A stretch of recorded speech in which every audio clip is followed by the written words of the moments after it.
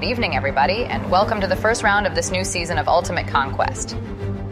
This evening, it's all about DEP and Leg.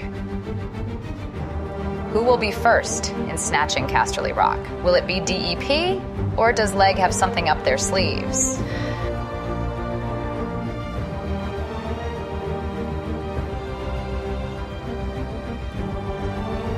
And let's not forget Mother. Leg should keep their eyes on this building. Given the strength of DEP, they might be needing that nice healing boost today. And then there are the ports, one of the most hectic parts of the map. Will we see Leg making a play for them? Will they be able to grab it? And more importantly, hold it. Only one way to find out. It's time to dive into this first match of a new exciting season, and I hope you enjoy this small recap. Let's get to it.